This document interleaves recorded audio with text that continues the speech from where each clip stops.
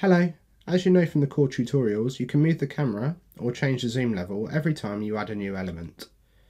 In this video we will show you a technique that allows you to use dummy elements to move the camera without anything new being shown in the finished video. As you can see I have a map of the world on my canvas and this is the only element in the project so far. I'm now going to lock this in place so that when I'm moving around it I'm not going to move the map itself by accident. To move around this map and focus on different areas, I will need to add some extra elements. In the image library, we have a couple of blank images which are ideal for this, so I'm going to search for those and add one to the canvas. I'll just resize that and move it to a new area where it's not going to show up. Now that's out of the way, let's set some timings for it. I don't want to see it being drawn, so I'll animate it in 0 seconds. But I'm going to use this to emphasize an area on the map, so I want to pause on it for a couple of seconds.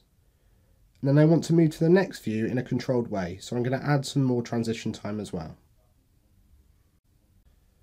Now for the most important part, to use this new element to set a new camera view. So if I want to highlight North America on the map, first I can zoom in, position the frame, and then select the dummy element. With that element selected, I can use this button in the bottom right to set the camera view. Now let's preview that back.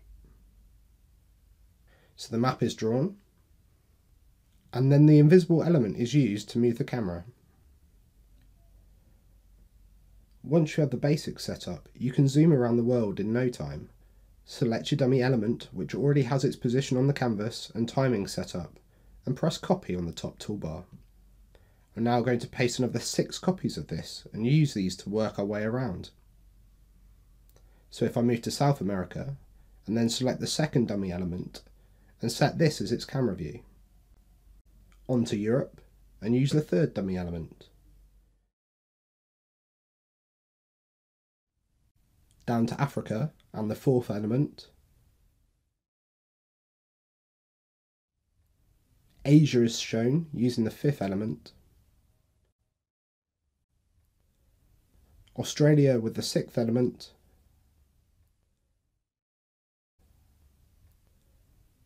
Then let's move back out and show the whole map. To do this I'll select the original map, view the camera position and set the final element to that view.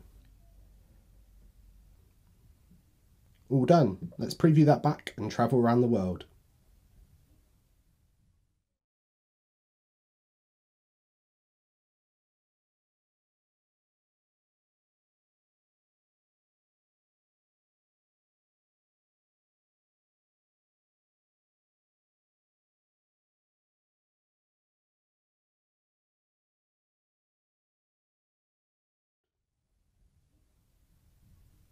So that's how you move the camera around using dummy elements in VideoScribe.